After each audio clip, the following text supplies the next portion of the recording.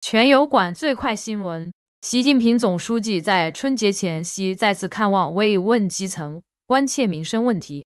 他前往天津新口镇第六步村，实地了解去年洪涝灾害后的农业生产恢复情况，并看望了受灾群众。习近平总书记表示，要继续做好灾后恢复工作，推动人民生活向更好的方向发展，让老百姓过上更好的日子。一年来，习近平总书记多次走访地方，心系民生关切，询问百姓疾苦，寻找解决问题的办法。总书记始终将人民放在心中。他的关怀与牵挂贯穿其中，彰显着他作为总书记的一贯理念：一切以人民为中心。